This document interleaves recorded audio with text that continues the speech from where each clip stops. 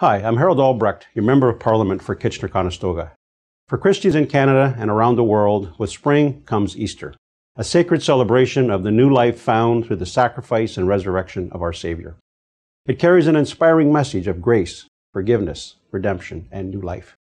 This Easter, I'd like to extend my warmest wishes to all those celebrating and invite those who don't celebrate Easter to share in the message of hope that Easter brings.